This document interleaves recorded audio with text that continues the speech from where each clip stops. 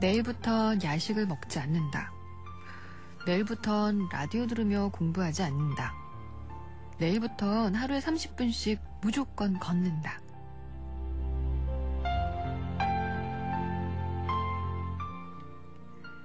3월을 보내면서 다짐하고 있는 그 일들이요. 4월 한 달만이라도 꼭 지켜보세요. 그럼 아마 5월엔 다른 자신의 모습을 만나게 될 거예요.